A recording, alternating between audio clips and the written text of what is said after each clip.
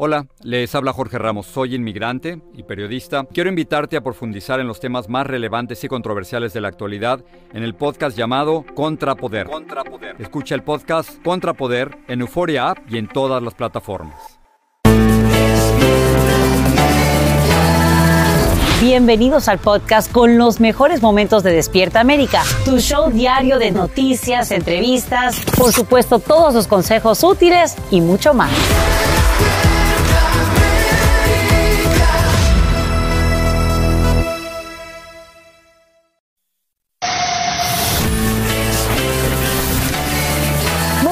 Es viernes 5 de abril. Hoy en Despierta América. Alivio migratorio. Hasta 800 mil solicitantes de asilo y extranjeros reciben una prórroga de sus permisos de trabajo justo cuando estaban a punto de expirar. Entérate por cuarto tiempo y quiénes resultan beneficiados. A horas de una tensa llamada telefónica entre Biden y Netanyahu, Israel abre rutas para llevar ayuda humanitaria a Gaza. En vivo te decimos qué más pide el mandatario estadounidense y qué le advierte a su homólogo israelí. Hay creciente preocupación en aeropuertos luego que un informe revelara múltiples brechas de seguridad. Te explicamos las más comunes y a qué se debería esta tendencia. Desde un rascacielos se desploma parte de una grúa sobre un puente en el sur de la Florida. Un trabajador cae junto a la estructura y dos autos quedan prácticamente aplastados. Y quiero que sepan que miles de inmigrantes respiran más tranquilos al recibir una extensión de sus permisos de trabajo justo cuando estaban a punto de llegar a la fecha límite. Los solicitantes de asilo y los extranjeros que están en proceso de cambiar su estatus a residencia permanente son los grupos más beneficiados por esta medida. Saludamos en vivo desde Los Ángeles a Romy de Frías, quien tiene todos los detalles. Romy, buenos días, cuéntanos. Sasha, muy buenos días. Y bueno, el Servicio de Ciudadanía e Inmigración de los Estados Unidos, USCIS, por sus siglas en inglés, anunció que va a extender hasta 540 días los permisos de trabajo para inmigrantes que hayan solicitado a partir del 27 de octubre del 2023 una extensión de este permiso de trabajo. Así que revise con la página de internet de USCIS si su permiso sigue pendiente, es lo que dicen ellos, y está automáticamente extendido. Todo esto se debe a que hay muchos retrasos en el sistema de inmigración en estos momentos y ellos han decidido extender estos permisos de trabajo. Esto va a beneficiar aproximadamente 800 mil inmigrantes que continúan con estos permisos de trabajo y especialmente aquellos que están en el proceso de cambiar su estatus o que tengan visas especiales como las víctimas de violencia doméstica. La Oficina de Servicios de Ciudadanía dice que todo aquel que haya enviado una solicitud a tiempo y que haya enviado una solicitud correcta, por eso deben de revisar. Estas solicitudes automáticamente significan que su permiso de trabajo queda extendido eh, el doble del tiempo que regularmente eh, es necesario. Ese, es toda la información. Regreso contigo al estudio. Romy, y antes de despedirnos, hay otra buena noticia en tema de inmigración. El gobierno de Biden anuncia el traslado de niños migrantes de campamentos improvisados a la intemperie a instalaciones más seguras. Cuéntanos de qué se trata. Así es, Sasha. Y bueno, lo que dijo una jueza es que la patrulla fronteriza y el servicio de Homeland Security debe de, de inmediato procesar a estos menores que se encuentran detenidos en la frontera entre México y Estados Unidos. Esa es toda la información que te tengo desde Los Ángeles, California. Romy de Frías, regreso contigo al estudio. Gracias, Romy, por estos detalles en vivo desde Los Ángeles. Y en noticia de última hora, Israel despide a por lo menos dos militares implicados en el ataque mortal contra siete trabajadores humanitarios en Gaza. Esto luego que una investigación de su gobierno revelara que se violaron dos veces las normas sobre este tipo de operativos. Añade que los mandos carecían de evidencias suficientes para ordenar la agresión. Y por primera vez desde el ataque de Hamas, Israel reabre un paso fronterizo con Gaza. Además, crearía rutas para llevar ayuda humanitaria a solo horas de una tensa llamada telefónica entre el presidente Biden y el primer ministro israelí Benjamín Netanyahu. Ahora Biden pide medidas más concretas para proteger a civiles. En vivo desde Washington, D.C., Edwin Pitti nos dice cuáles son y qué advierte el mandatario sobre el apoyo estadounidense. Edwin, cuéntanos. Sacha, muy buenos días y feliz viernes. Te comento que la Casa Blanca parece estar escuchando las múltiples críticas que han recibido en los últimos meses por todo lo que está pasando en Israel, pero a pesar de esa tensa llamada entre Biden y Netanyahu, todavía la Casa Blanca no especifica si pronto le podría poner pausa a todo el apoyo militar que envía a Israel. Veamos aumenta la frustración de Estados Unidos con Israel, no solo desde el inicio de la guerra, sino por el ataque israelí donde murieron siete voluntarios de una organización humanitaria. Reportes sugieren que un Biden molesto dijo en la llamada con Netanyahu que Estados Unidos podría cambiar su política de ayuda incondicional si no hacen más para proteger a la población civil. If there are not changes to their approach, um, it is very likely we're going to change our approach. En la llamada de 30 minutos, Biden también le pidió a Netanyahu un alto al fuego, que aumente considerablemente la ayuda humanitaria en Gaza, permitiendo nuevas entradas, y que reduzca la violencia en contra de trabajadores y civiles. Ahora hace la conversación entre ambos líderes. Israel anunció que va a permitir la entrega temporal de ayuda a través de su frontera al norte de Gaza. Uh, will be dependent upon our assessment of how well the Israelis uh, make changes and implement changes. Israel anunció la suspensión de dos comandantes de su Fuerza Armada mientras investiga el ataque que acabó con la muerte de siete trabajadores de World Central Kitchen, dirigido por el chef José Andrés, entre ellos el canadiense estadounidense Jacob Flickinger. Su pareja exige respuestas. I want people to know that he was a man of service and he wanted to help. He wanted to to be brave in this situation and help these people that were in need. We need the truth of what happened because the situation is so unclear. So please, Mr. Biden, give us the truth of what happened. Sacha, por una parte, el secretario de Estado Anthony Blinken dice que Estados Unidos agradece los cambios que propone Israel, pero que la verdadera prueba estará en ver muy pronto los resultados que esos cambios implicaría. Es mi reporte en vivo desde Washington DC. Vuelvo contigo al estudio, Sacha, en conjunto con un abrazo por motivos de tu onomástico. Te queremos mucho. Ay, muchísimas gracias, querido Edwin. Un abrazo para ti, por supuesto, hasta Washington DC y nos enlazamos contigo en instantes, una vez más aquí en Despierta América. Y quiero que sepan que hoy el presidente Biden viaja a Baltimore a fin de visitar la escena del puente colapsado. Además, el mandatario haría un recorrido aéreo sobre la zona y se reuniría con familiares de víctimas, así como pediría más información con respecto a la ayuda que necesita la ciudad para reconstruir esta importante estructura. Como te hemos informado, el gobierno federal ya financia los trabajos de limpieza en el puerto y envía 60 millones de dólares en fondos de emergencia. En las últimas horas, el expresidente Trump sufre no uno, sino dos reveses legales. De una parte, una jueza de Florida se niega a desechar el caso penal en su contra por el manejo de documentos clasificados hallados en Mar-a-Lago. De otro lado, una corte de Georgia rechaza una petición de desestimar el juicio por interferencia electoral, alegando que el mandatario no ha podido demostrar que su conducta esté amparada por la libertad de expresión. Es momento que dejes volar tu imaginación y pienses lo que harías con 1.230 millones de dólares. Te hablo del premio gordo del Powerball, el cuarto más grande de la historia de esa lotería. Y este se acumula después de 40 sorteos consecutivos sin un ganador. El próximo sorteo, ya lo sabes, es mañana sábado en la noche. Si no tienes tu boleto todavía, pues cómpralo. Y si estás padeciendo de eh, fatiga por estos sorteos tan consecutivos y sin que haya un ganador, no te preocupes porque la suerte es loca y a cualquiera le toca. Hola, yo soy Carla Martínez. Estás escuchando el podcast de Despierta América.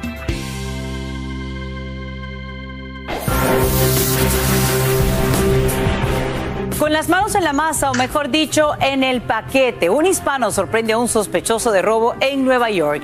La cámara de vigilancia muestra al intruso acercándose sigiloso a la puerta de la residencia, de la misma que sale Carlos Mejía a defender su casa con un bate. Ahí lo obliga a arrodillarse hasta que llega la policía.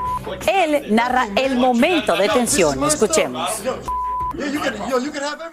Yo lo único que hice fue aguantarlo hasta que ellos llegaran e incluso yo mismo fui y le dije al policía, porque él, estaba gritando de que yo le había pegado. Y yo mismo incluso fui y le dije al, al, uh, detective de que yo salí con el bate pero no le pegué. Mejía también explica que utilizó un paquete falso como anzuelo para capturar al sujeto que ya se habría robado varios otros. Aunque en este caso todo salió de acuerdo al plan, la policía te recuerda que no repitas este tipo de hazañas que pueden resultar más bien en desgracia. Y a esta hora hay una creciente preocupación en aeropuertos de todo el país, luego que un informe revelara una verdadera ola de brechas de seguridad. Esto, por supuesto, genera incertidumbre entre pasajeros y tripulantes. En vivo, Angélica González nos dice cuáles son las fallas más comunes, a qué se debería esta tendencia y qué hacen autoridades para ponerle freno. Eli, muy buenos días. Adelante. Querida Sacha, muy buenos días. Es un informe reciente que revela cifras inquietantes de situaciones donde se han violado las normas de seguridad y solo estamos hablando de la data de un año. Les muestro.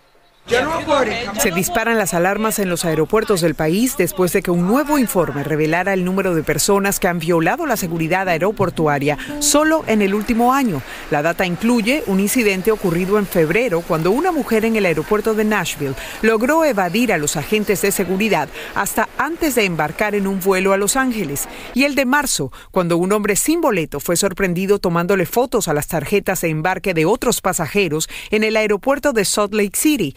El hombre fue detectado justo antes del despegue. Un portavoz de la Administración de Seguridad en el Transporte, TSA, informó a medios estadounidenses sobre al menos 300 casos de violación en aeropuertos de todo el país en los últimos 12 meses, lo que supone un enorme aumento con respecto a años anteriores, pues en 2022 solo se registraron 72 casos y en 2019 apenas 29. El repunte de los viajes post pandemia y las enfermedades mentales podrían ser factores que influyen en este resultado. Ciertamente hay preocupación cuando ves fallos de seguridad, pero al mismo tiempo no existe sistema de seguridad perfecto, opina quien fuera director de seguridad de la TSA en el pasado. El mismo portavoz actual de esta oficina califica la situación en su declaración al Washington Post como una tendencia y dice que el número de incidentes es mayor de lo que creían. Los casos más frecuentes son los que involucran pasajeros entrando de nuevo en zonas seguras a través de puertas que son exclusivamente de salida.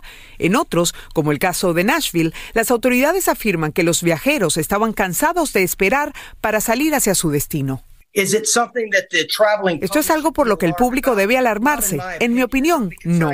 Claro que hay que reforzar esa parte vulnerable, pero el cielo sigue siendo seguro, dice confiado este antiguo agente de la TSA. Y bien, ya funcionarios del aeropuerto dicen que están trabajando para hacerle frente a esta llamada tendencia en los aeropuertos del país con algunas medidas que incluyen nuevas barreras y puertas que solo permitan salidas o entradas y no que sean de doble función. Veremos si con esto es suficiente para terminar con el problema. Tú tranquila, Sacha, cómprate tu boleto, celebra tu cumpleaños, que aquí te acompañamos. Vuelvo contigo. Y nos vamos de viaje, mi querida Eli, esperando que todo salga en orden. Gracias por brindarnos estos detalles en vivo.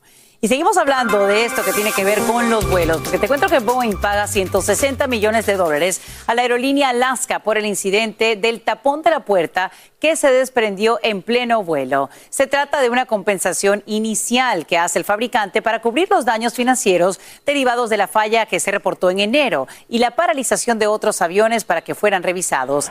La línea aérea exige más dinero de Boeing, que ya reporta cinco años de pérdidas anuales. Antes de limpiar tu casa, escucha esto. Retiran del mercado 2 millones de vaporizadores Black Decker luego de reportarse más de 80 denuncias de quemaduras vinculados a ellos. Aquí los ves en pantalla. Son estas planchas de vapor que muchos utilizan para borrar las arrugas de la ropa. La compañía ya había tomado cartas en el asunto, pero ahora le pide a sus usuarios que dejen de utilizar todas las versiones del modelo HGS011. Comunícate de inmediato con Empower Brands para que recibas tu reembolso y ahí en pantalla ves el sitio web donde lo puedes hacer. Y ahora vamos con noticias de tu país. No una, sino dos veces el Congreso de Perú vota en contra de iniciar un proceso para destituir a la presidenta Dina Boluarte. Como te hemos informado en Despierta América, la mandataria enfrenta una investigación por presunto enriquecimiento ilícito relacionado con la posesión de joyas, relojes de lujo y depósitos bancarios de origen desconocido. Y un camión lleno de sal se estrella de frente contra un pequeño autobús. Esto ocurre en Bolivia. Y este choque lamentablemente deja 14 fallecidos. Entre ellos hay nueve mujeres y un niño. Otras dos personas sufren heridas. Al parecer el conductor del vehículo se carga de carga se habría dormido al volante perdiendo el control e invadiendo el carril contrario. Y te cuento que este domingo tiene lugar el primer debate presidencial en México. Este encuentro genera interés aquí en Estados Unidos porque definiría el futuro de la relación entre ambos países en cuestiones claves como narcotráfico, comercio y seguridad fronteriza. Según sondeos, la candidata oficialista Claudia Sheinbaum mantiene amplia ventaja sobre su principal contrincante, la opositora Xochitl Gálvez. Y vamos a hablar de esto. Hasta 6 millones de dólares costarían los shorts de boxeo que usó el gran Mohamed Ali en su épica pelea Thriller in Manila con su rival Joe Frazier en 1975. Esta prenda de satén blanco se ofrece en subasta a partir de la próxima semana y bueno, inicialmente Sotheby's cree que podría iniciar con una oferta de unos 4 millones de dólares y alcanzar incluso esta cifra que te mencioné al principio, 6 millones. ¡Ah! Impresionante. Estaremos muy pendientes, por supuesto, a ver quién la obtiene y por cuánto dinero. Quiero que sepas que arrestan a un guardia nacional en Texas cuando al parecer intenta pasar a un indocumentado de contrabando a través de la frontera en un vehículo oficial. El uniformado Savian Johnson, de 26 años, desata una persecución a toda velocidad y ahora se prepara para enfrentar una larga condena de ser declarado culpable. El acusado habría recibido más de 5 mil dólares por transportar al inmigrante a través de un punto de control sin ser detectado. Y esta mañana una ola de indignación recorre México tras divulgarse un video de la brutal agresión que sufre una mujer es que la grabación muestra el momento en que un conocido influencer le propina puñetazos y patadas derribándola al piso. Aunque no lo creas, el agresor se echa a reír cuando lo arrestan. Eduardo Meléndez tiene las imágenes y reacciones en vivo desde Ciudad de México. Eduardo, causa muchísima indignación este hecho. Cuéntanos. Querida Sasha, amigos de Despierta América, a todos muy buenos días. Y tenemos que anticipar que son eh, imágenes extremadamente fuertes, son sensibles. Imaginen ustedes un sujeto de 26 años que mide 1,80 golpeando de forma inmisericordia a una mujer. Ahí lo estamos observando. Mira, este es un incidente de tráfico menor un eh, recargón prácticamente entre espejos de vehículos, lo que genera que eh, este sujeto golpeara a puñetazos a esta mujer. Es considerado por algunos abogados incluso como un acto criminal, Sasha. La tira al piso de los golpazos, después la patea sin importar que estuviera al lado del aforo vehicular y que pudiera ser atropellada ahí, pues parte de las lesiones provocadas por los puñetazos y las patadas de este sujeto. Y miren, es esta mujer víctima de este supuesto influencer o comediante quien cuenta por qué este sujeto arremetió de esta forma en su contra. Escuchemos, por favor. El chavo creyó que yo me iba a ir. No, yo me imagino. Dije, voy a sacar mis papeles. Dice, pero si le vas a hablar al seguro. Sí, iba viéndole al camioneta y me dice, ¿qué se me hace que no? Y ahí empezó a patearme.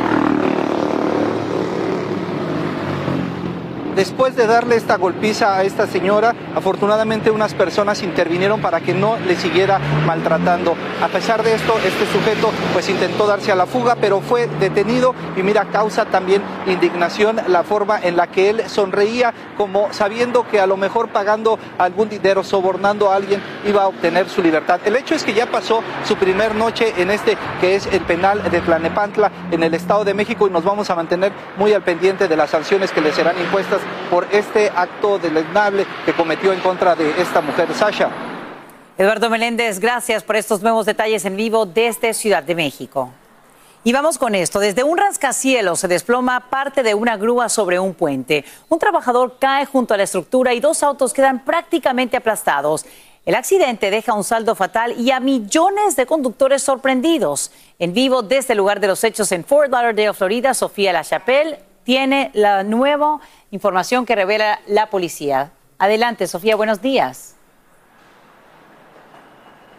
¿Qué tal? Muy buenos días. Así es, estamos justo en el downtown de Fort Lauderdale y aquí en esta zona que se conoce como New River. A mis espaldas está ya fuera de la escena lo que fue el pedazo de esa grúa de uno de los edificios en construcción tantos que hay en esta área y es que una plataforma de esa grúa se desprendió y cayó justo sobre el puente que está aquí a mis espaldas provocando pues eh, que tres y dos automóviles fueran impactados, tres personas resultaron heridos y, ah, continúan en el hospital, pero un trabajador, el que estaba pues armando esa plataforma en el área de la grúa de construcción, perdió la vida. Esa es la información que han dado las autoridades hasta el momento. Ahora bien, se había eh, dicho que parte del tramo de la carretera iba a estar cerrado, pero está reabierto al público. Vamos a ver qué tuvo que decir el jefe de bomberos en esta zona. Una persona murió, ah, también fueron impactados dos carros y tres personas ah, fueron, ah, tuvieron eh, heridas en menores. Una persona fue, dos personas fueron transportadas al hospital. Eh, por el momento ahora el departamento de bomberos eh, se aseguró que todo estuviera seguro. tenemos una investigación que se está realizando al momento. La investigación está a cargo de OSHA, que es la que trabaja lo que son accidentes laborales, la policía y también la Guardia Costera. Es la información que tenemos desde el downtown de Fort Lauderdale. Yo regreso con ustedes al estudio. Sofía La Chapelle de nuestra afiliada Univisión 23 en Miami. Gracias por estos detalles en vivo desde Fort Lauderdale. Y ahora vamos a festejar a quienes como esta servidora nacieron un 5 de abril y estamos de cumpleaños.